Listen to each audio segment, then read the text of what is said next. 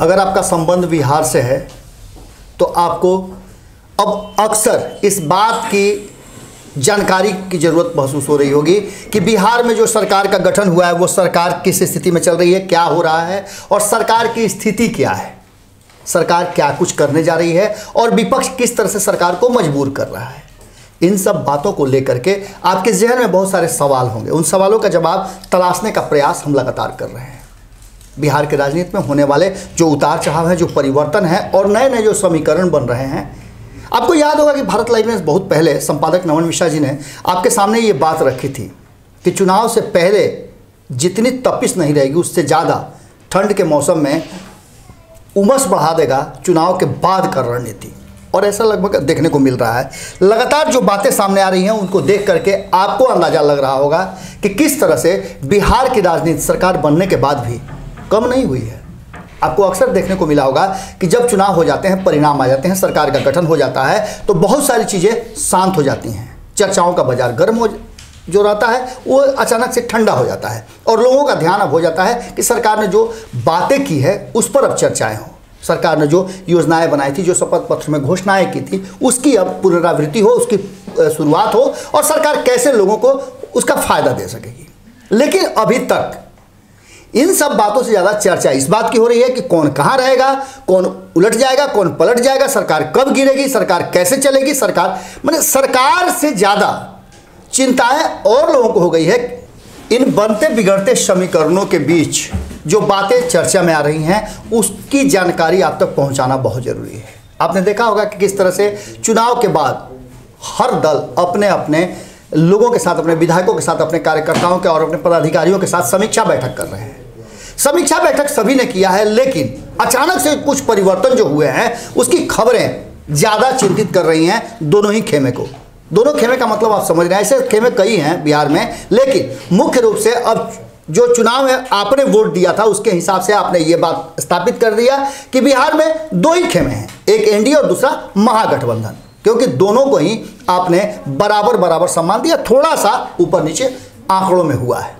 Vote का प्रतिशत भी देखा जाए तो बहुत ही माइनर अंतर पड़ रहा है। बारह चौदह हज़ार वोटों के अंतर से सरकार बनी और बिगड़ी, यही सब बातें हुई है। और इन सब बातों को लेकर के अब नए समीकरण की तरफ़ बिहार की राजनीति डेगा डेगी रखना शुरू कर चुके हैं। इसके पीछे बहुत सारे कारण हैं।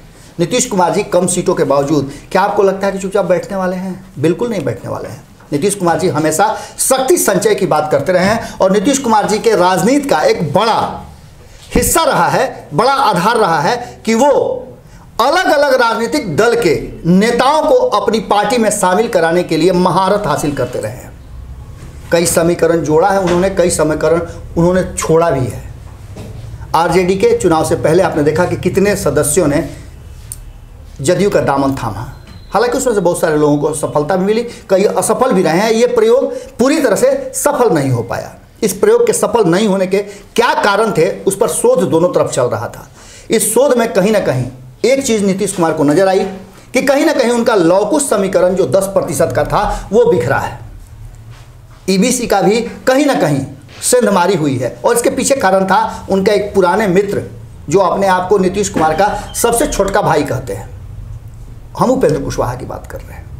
जितना ज़्यादा दोनों के बीच में तलखी थी उसमें धीरे धीरे परिवर्तन हो रहा है और नीतीश कुमार हमेशा अपने साथियों को, हालाँकि सभी करते हैं, लेकिन नीतीश कुमार थोड़ा ज़्यादा करते हैं, अपने साथी को हमेशा हड़का करके रखते हैं। वो इस बात का एहसास कराने, कराते रहते हैं कि मैं हूँ तो तुम हो, वरना तुम्हारा कोई अस्तित्व नहीं है। और ये बातें अक्सर दुनिया की सबसे बड़ी पार्टी मानती रही है, भारतीय जनता पार्टी की मैं बात कर रहा हूँ। एक बार फिर से जो चीज़ें नज़र आ रही हैं, समीक्षा के बाद जो बातें नज़र आ रही हैं, उसमें उपेंद्र कुशवाहा का रुझान एक बार फिर से अपने बड़का भैया के तरफ़ जा रहा है। बड़का भैया का मतलब आप लालू प्रसाद मत समझ लीजिएगा, क्योंकि वो तो बड़े भाई नीतीश कुमार के हैं, लेकिन उपेंद्र कुशवाहा के बड़े भाई अब नए दौर में, या पहले भी, उससे पहले भी आपने देखा होगा, नीतीश कुमार ही हुआ करते थे। और ये लॉकुस का जो समीकरण है, ये लंबे समय तक बिहार की राजनीति में अपना स्थान बना के रखा था। अचानक से ये टूटा है। 2020 के चुनाव में नीतीश कुमार जी को सीटें कम आई। उसके पीछे कहीं ना कहीं अगर चिराग पासवान कारण है तो दूसरा कारण उनके छोटे भाई का, उनसे अलग होना भी है। और ये काफ़ी समय से चल रहा है। दोनों के बीच में तलखियाँ भी रहीं। कुछ मुद्दों को लेकर के दोनों के बीच में नाराज़गी भी रही, लेकिन वो नाराज़गी अब दूर होती नज़र आ रही है और इसके पीछे सबसे बड़ा कारण बने हैं तेजस्वी यादव। जिस तरह से तेजस्वी यादव ने महागठबंधन के अपने पुराने साथियों से धीरे से किनारा कर लिया, या ऐसी स्थिति बन गई जिससे उन्हें किनारा करना पड़े। हालाँकि बातें तो बहुत सारी होती है। कहा यह जाता है कि कांग्रेस ने एक ऐसा गेम कर दिया जिसके चलते इन लोगों को हटना पड़ा।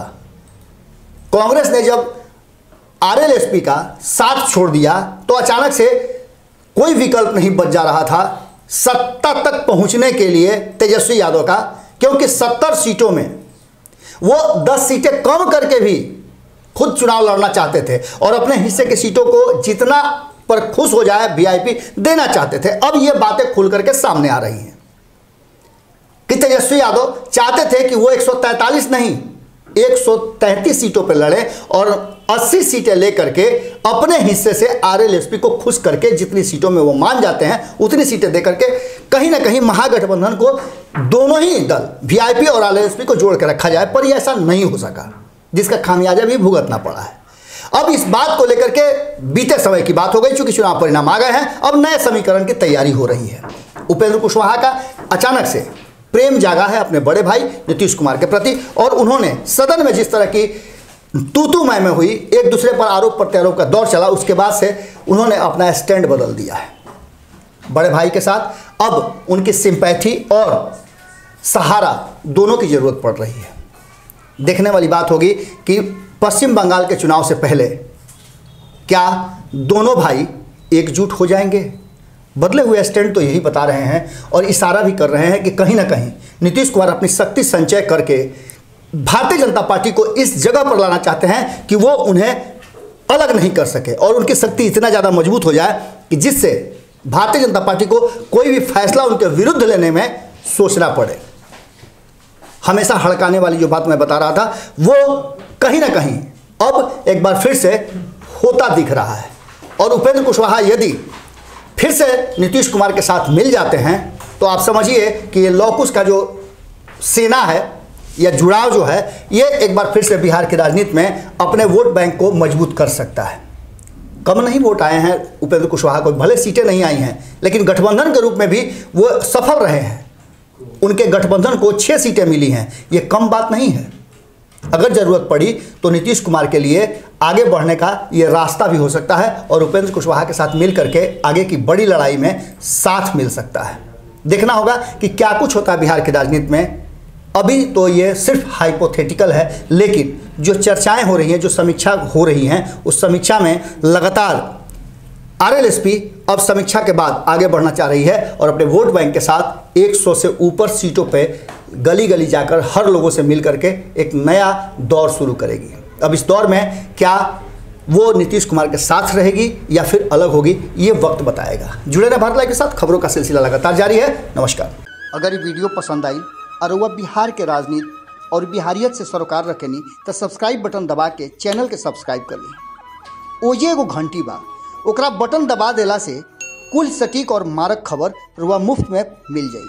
अगर रुआ पत्रकारिता के हमनी के नया प्रयोग में सहयोग कर चाहतनी तो ज्वाइन बटन दबा दी। पेटीएम नंबर नोट कर ली nine three eight six eight one six seven double zero. धन्यवाद।